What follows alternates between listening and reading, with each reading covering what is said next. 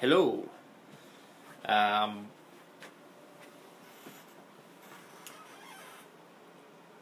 I've had three skaters within the last, or parents, skaters of parents, parents of skaters, within the last month ask me about uh, new skates. So I'm going to do a uh, introductory description of when to get new skates, how to get new skates, where to get new skates, etc., uh, etc. Et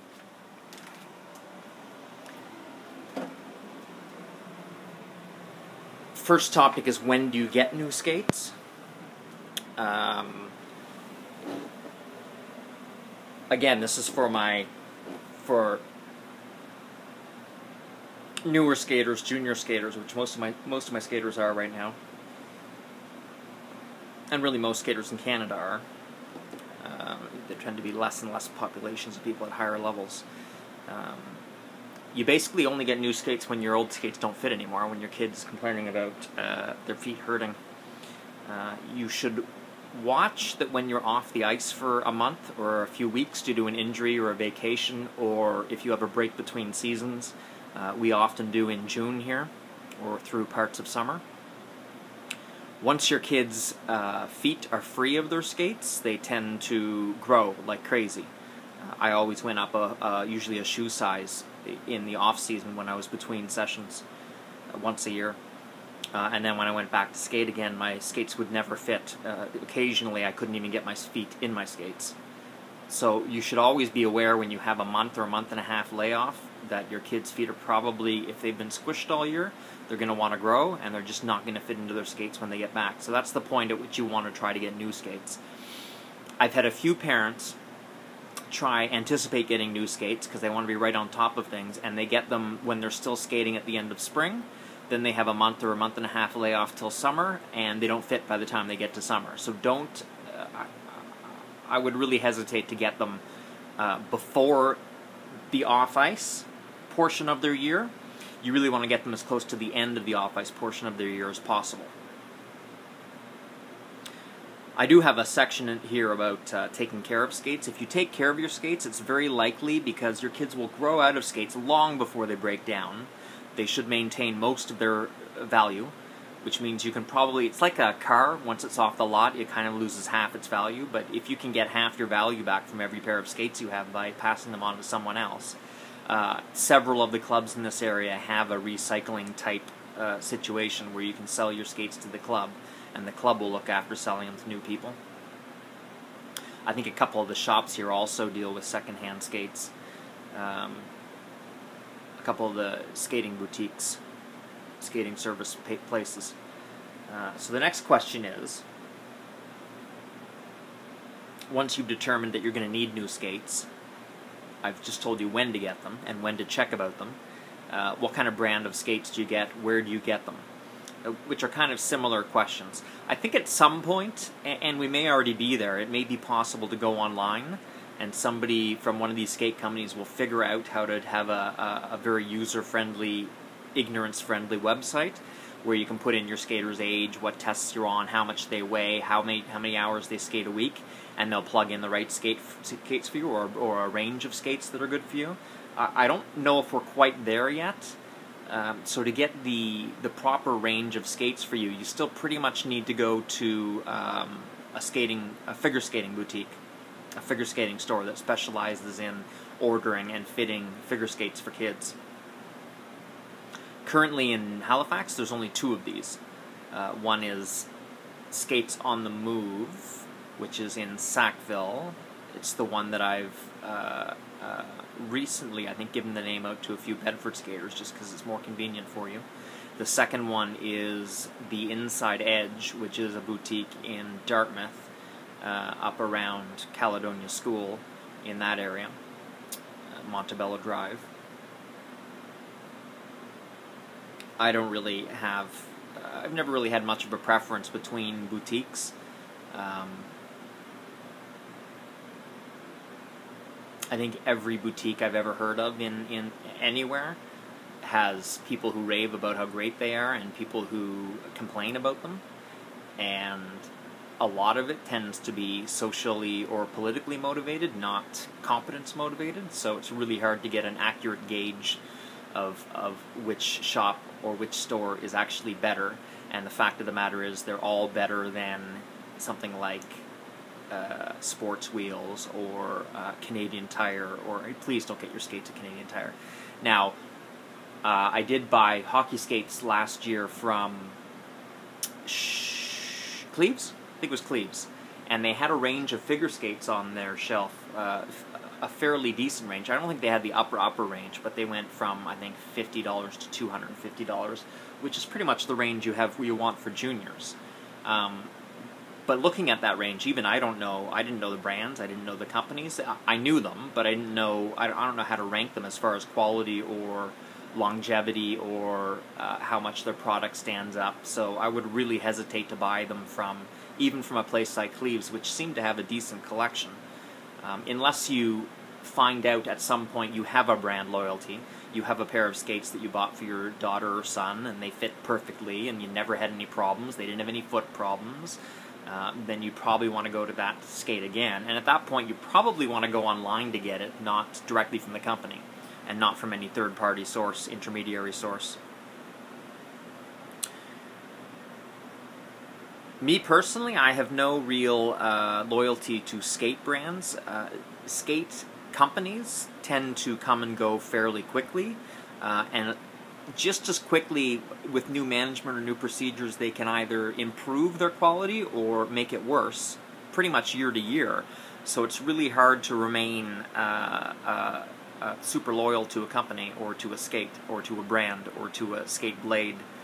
Uh, so I don't, I just don't bother to keep up with it. Uh, I'm far more interested in keeping up with actually getting kids to skate well. What you actually skate on is, to, in a large part, interchangeable, uh, and it's a lot of it's trial and error. You have to try a brand if you like it and it works, great. Keep going with that brand until it's not available anymore.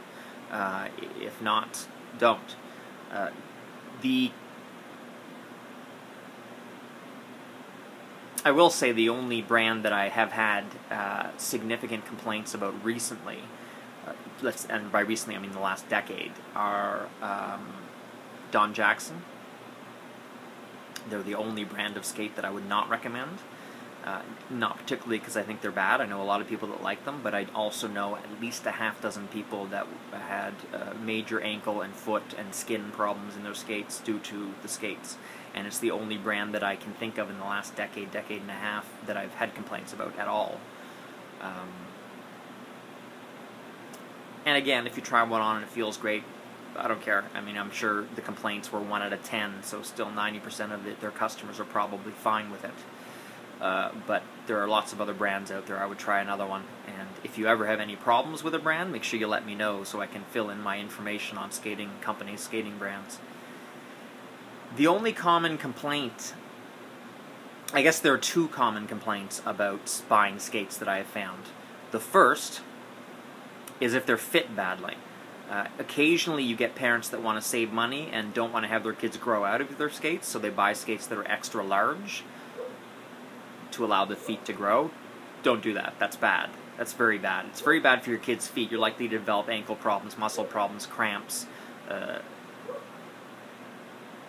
blisters, all kinds of other foot problems because your feet aren't designed to slide around and move around inside your skates.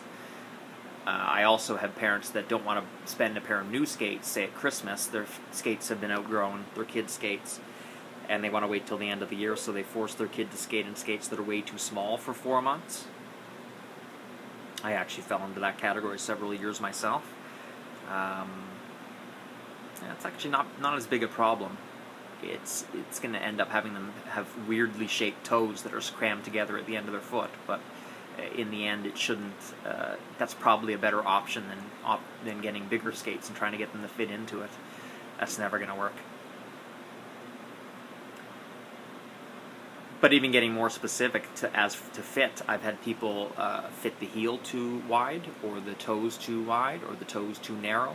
Uh, this, and this is where the boat, skating boutique is supposed to help out. They should have some measurement of your foot, and if your foot's irregularly wide or irregularly narrow, you're probably not going to be able to go with any kind of regular RAM that somebody of your age and level would, would go with. You'll have to get a, a special order, a custom order, or um, order something a little weird for your level. The second mistake people make, which I don't expect, again, if you go to a boutique, it should never happen, is getting a pair of skates that's either much, much uh, poorer quality than you need or much, much greater quality than you need. If you're talking a seven or eight year old with a regular size foot, just starting out their first or second year of skating, a good skate can range from about maybe $100, $150 to about $400. You don't really need to get higher than probably 300, 350, and I could be total. I'm kind of guessing here. I haven't looked at skate prices in ages, but I'm thinking 200 is probably a really good skate. But essentially, the range from 100 to 400 is going to be roughly the same skate. They're all going to be fine for you. They're all going to be good. If you go with the way upper end skate, the 400, 500, 600 dollar skate, the chances are for a seven year old that skate's going to overpower them. It's never going to break down. It's never going to break in. It's never going to mold to their feet. It's never going to be comfortable enough um, because it's way too stiff, and, uh, high quality, way too stiff, way too much support for what they need. At the same time, if you get a $40 pair of CCM Canadian Tire skates, they're they have no support right from the outset. Their spine is weak. They flop around. Uh, they're going to have no ankle support, which means they're going to have sprained ankles, twisted ankles, uh, and a lot of ankle uh, injuries over the over the time they wear those. So you want to avoid that as well. But anything in the middle range is is likely to be sufficient. But like I said, I would definitely go to somebody who is an expert until the online um, community ends up catching up in with self-service videos, self-service applications, self-service um, what's that? Uh, self-service uh, menus or something that you can serve yourself, uh, which really should be on the way. Uh, I would really try to always go to a figure skating store, not a sports store, not a hockey skate store, uh, certainly not a rink. And I wouldn't particularly ask me. There are some coaches that really try to uh, stay up to date on what the uh, products coming out are. Uh, but most of them, most of the most of the coaches are not. They will convince themselves they're an expert on skates, but I wouldn't trust their opinion. There are a few that I think are, uh, I would much rather spend my time learning how to actually coach and learning technique, learning tests, learning changes in tests, learning competitions, learning uh, you know various other aspects of coaching. Uh, other than the peripherals like that, there are experts at fitting skates and ordering skates and buying skates and looking after skates, and you might as well let them do their jobs. It might take a little more time, but it's not really going to take a lot more money.